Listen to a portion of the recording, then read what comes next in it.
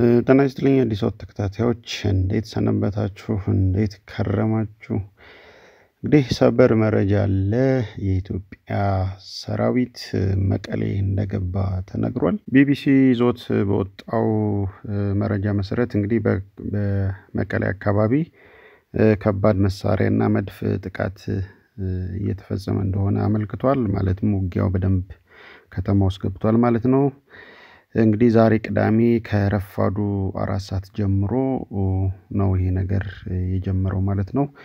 በሌላ መረጃ ደግሞ ቀይ መለዮ ለባሾቹ የከተማ ውጊያ የሚዋጉት ልዩ ኮማንዶዎችም እንደገቡ ተነግሯል ማለት ነው። እነዚህ ልዩ ኮማንዶዎች ቀይ ለባሾች ዋነኛው የከተማ ውጊያ እንዲዋጉና የተደበቁ የሚሏቸውን ሰዎች ለመያዝ ነው እነዚህ ኮማንዶች ልዩ ኮማንዶች የሚሰማሩት ማለት ነው። ስለዚህ ያንን ነገር እያደረጉ ነው። እንግዲህ የመጨረሻዋ ከተማ ህወሓት የያዛት ከተማ መቀሌ ናት ማለት ነው። ቢቢሲ አክሎም ሮይተርስ ዶክተር ደብረጽዮን ደውሎ መልእክት እንዳገኘም ዘግቧል። ሮይተርስ የዜና ወኪል የህወሓት መሪን ጠቅሶ የኢትዮጵያ መንግስት ኃይሎች የክልሉን ዋና ከተማ መቀለን ለመያዝ ቅዳሜ ጥቃት ማካሄድ መጀመራቸውን ለዶክተር ደብረጽዮን ደውሎላቸው በአጭር የቴክስት መልእክት እንደመለሱላቸው ተናግሯል።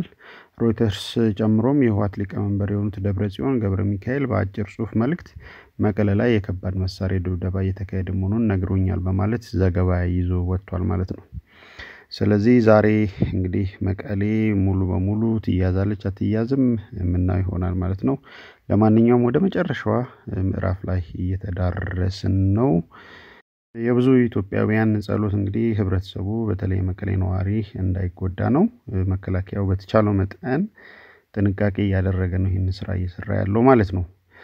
በተያያዘ ዜና እንግዲህ ዛሬ የተለያየ መረጃዎች ሲዘዋወሩ ነበረ ጃልማሮን አስመልክቶ ጃልማሮ በኦሮሚያ ፖሊስ እንደተገደለ ከታማኝ ምንጭ አገኙ ብሎ አንድ መረጃ ይዞ የወጣው የሀሳብ ሜዳ ለረጅም ጊዜ የጠቅላይ ሚኒስትሩ ደጋፊና ሰውየው የሚለውን መጽሐፍ ነሚቼ የሚለውን መጽሐፍ ያሳተሙ ሞሃ ከቅርብ ምንጮቼ እርግጠኛ የሆነ መቶ በመቶ እርግጠኛ የሆነ መረጃ ይዤ ወጥቻለሁ በማለት ጃልማሮ ተገድሏል በማለት ዘግቧል።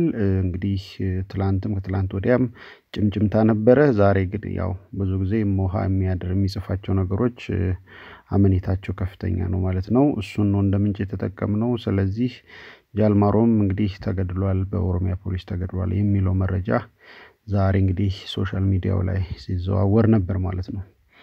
ለማንኛውም ተመልሰን እንመጣለን የመጨረሻውን ሁኔታም እንነግራችኋለን።